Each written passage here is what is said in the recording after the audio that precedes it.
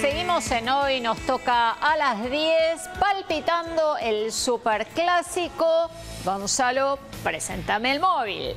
Sí, Marce, faltan menos nueve horas y pico para que arranque el partido. Ya hablamos de Boca, ya hablamos de River, pero poco se habla árbitro y del arbitraje. Bueno, está con nosotros Gabriel Bracenas, un ex árbitro durante 10 años, árbitro profesional de Conmebol, dirigió muchísimos partidos del fútbol argentino, así que seguramente nos va a poder hablar muchísimo más de ellos.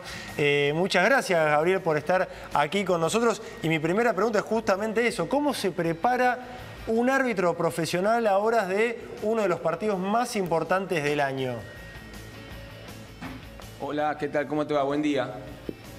Buen día. Buen día, Gabriel. Bueno, ¿cómo vos que dirigiste vastísimos partidos, cómo se prepara un partido como este? Y este es un partido de, imagínate, trascendencia, más que esta trascendencia no puedes tener. Lo habrá tenido en su momento la final en, en España, pero creo que hoy en día eh, tenés el técnico, los técnicos que se juegan mucho, por más que podés escuchar a, a Marcelo Gallardo decir que eh, este partido ya lo jugó, yo creo que el fútbol es presente, el fútbol no es ni futuro ni pasado, es presente. Hoy el presente es Boca River, eh, hoy va a haber mucha gente eh, en la expectativa de, no cometer los errores, creo que los árbitros forman parte del, fútbol y bueno, y creo que van a querer hacer todas las cosas lo mejor posible para que todo salga lo, mejor posible, ¿no? Cada uno va a poner su granito de arena. El arbitraje hay que estar muy concentrado, saber los jugadores que se dirigen, saber este, las tácticas y la estrategia que aplican cada equipo para, para, que no te sorprenda, ¿no? Y bueno, y eso es, eso es muy importante. Gabriel, ¿pensás que hizo bien eh, la Conmebol en elegir un árbitro que no sea argentino, puntualmente un brasilero?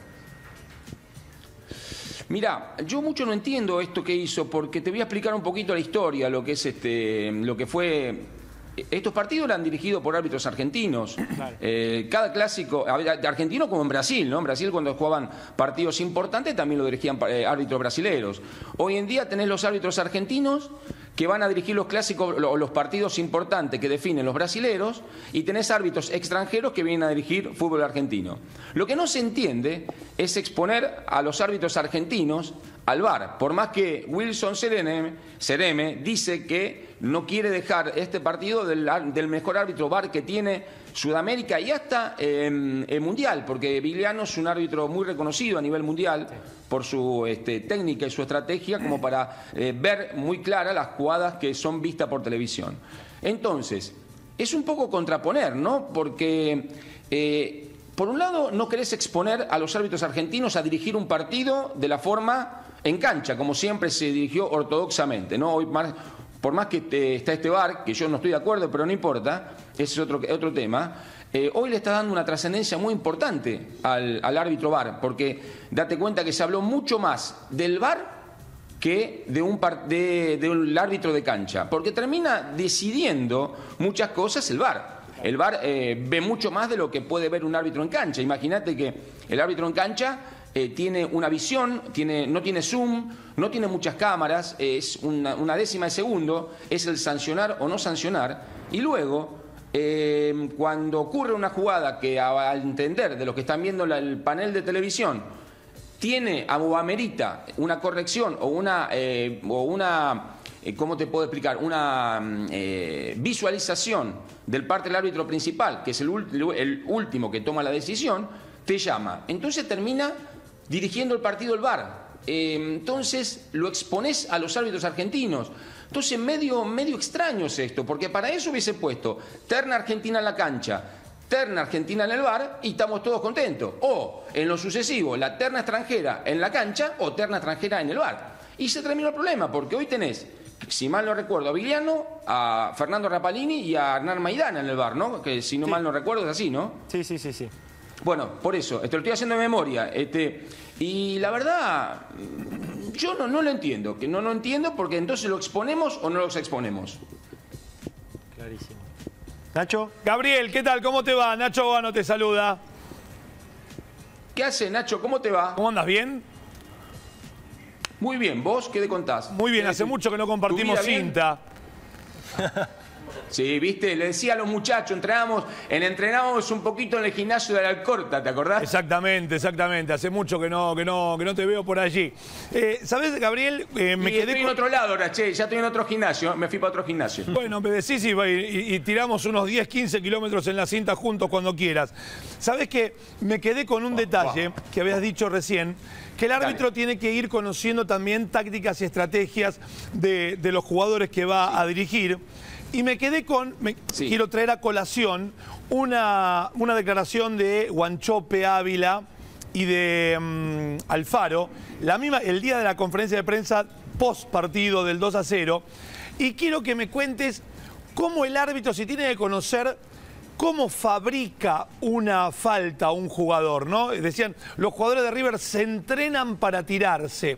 ¿Podés marcarnos para quienes no estén en conocimiento cabal ¿Cuán, ¿Cuán importante es una falta fabricada, si es legal, no una falta inventada? sino fabrico una falta, yo me pongo delante de otro jugador para que me lleve por delante y en virtud de eso cobrar. Eh, ¿Qué diferenciación hay? El árbitro mm, hoy conoce, por ejemplo, cuáles son esas virtudes de los jugadores de River de poder saber fabricar una falta. El árbitro tiene que estar preparado para saber cuándo una, fábrica una falta va a ser fabricada, como así también el defensor tiene que estar preparado para no cometer esa, esa falta y no caer en la trampa que la uno le va a permitir eso. A ver, eh, si un jugador entrena para eh, fabricar faltas, el otro jugador tiene que entrenar para no tratar de hacerlas. A ver, eh, esto, esto es sencillo, te explico.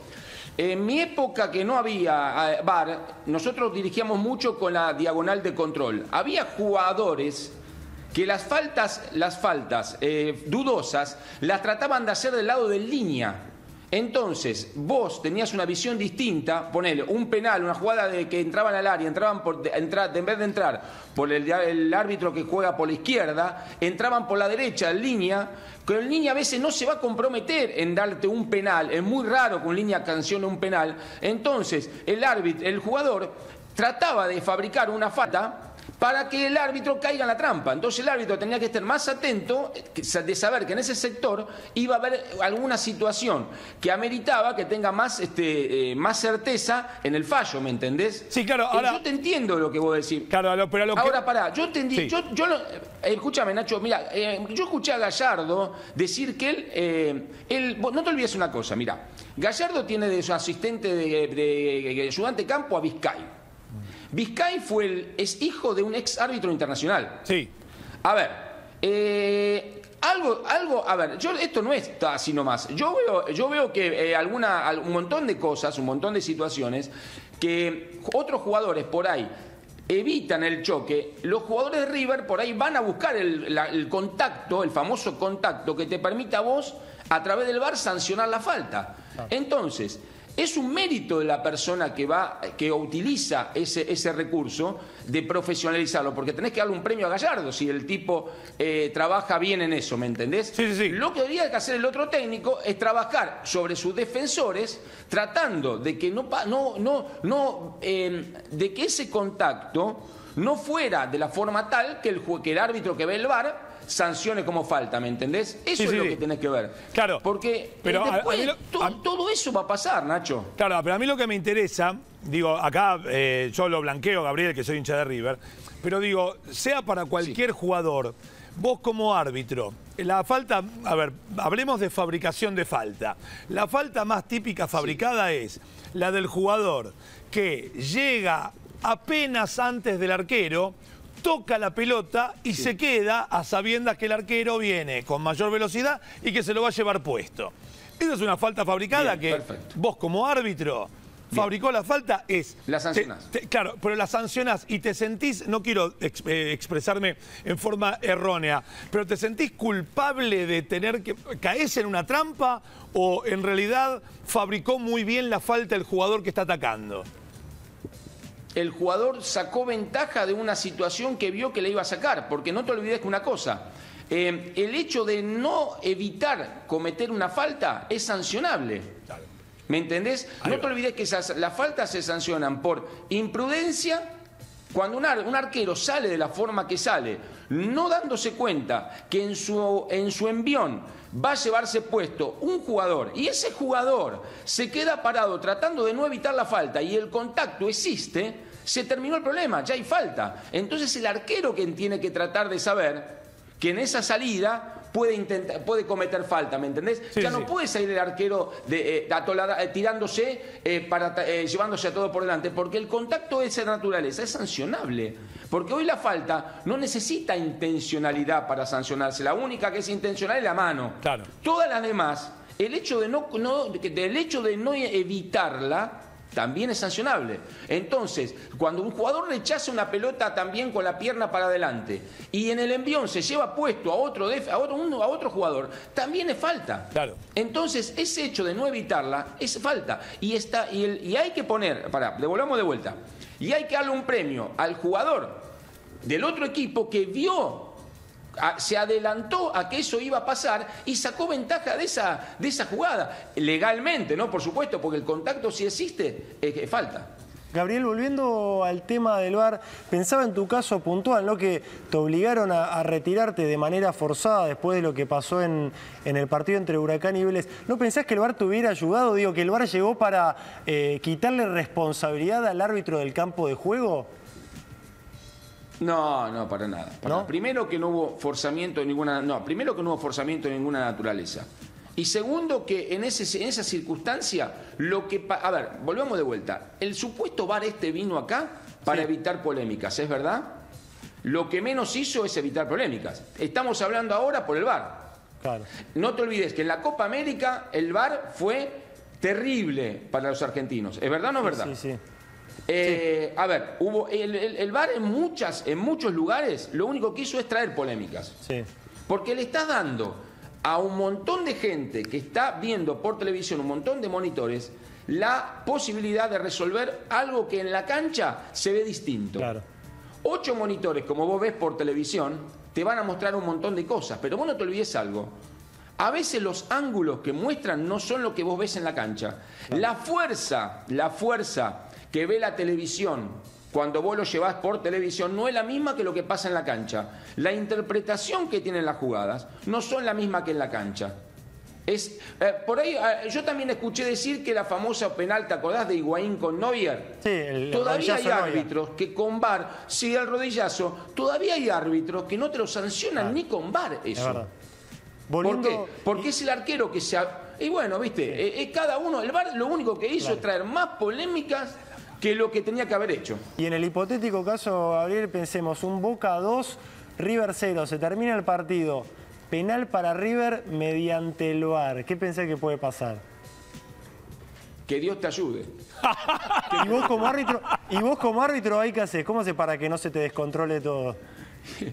Que Dios te ayude. Vos me preguntás a mí. Yo tuve el día del arañazo de Gallardo, de Marcelo con, con Roberto, con Abondancieri, y a nosotros tuvimos 25 minutos tratando de controlar lo incontrolable, con todos jugadores de primer nivel que no entendían razones y gracias a Dios ese día el fuego, ¿sí? Estamos para, para poner un poquito de paño frío a muchas cosas y tenemos que tener cuidado, que no venimos bien. No venimos bien en, tema de, lo que es este, violencia, no venimos bien, entonces tratemos todos, lo que estamos, lo que no estamos, lo que, lo que van a estar y todos los que forman parte del fútbol hoy en día, de poner paños fríos a todo este tipo de situación y no alimentar, porque yo creo que hoy como país no estamos en condición de alimentar nada, estamos con condiciones de tomar las cosas tranquilo y, hacer las cosas bien y tratar de que cada uno en su lugar cumpla el rol que tiene que cumplir para que todo tenga lo mejor posible visto al exterior, porque hoy nos están viendo todos en el exterior. No se olviden que hoy nos están viendo todos en el exterior. Este partido es un partido a nivel de Real Barcelona, de los grandes ligas del mundo, entonces Vamos a poner todo en un granito de arena para que esto salga lo mejor posible y que cada uno no se trate de equivocar en nada, a que hagan las cosas bien, lo único que puedo decir. Clarísimo tus conceptos, Gabriel. Muchísimas gracias por tu tiempo. Abrazo enorme, Gabriel. querido, un gusto grande. Chao, Nacho. Estamos Muchísimas gracias por aceptarnos e invitarnos a tu casa. Gracias, Gabriel. No, por favor, un gusto, querido, un gusto. gracias, Gonza, también. Gracias, Marce.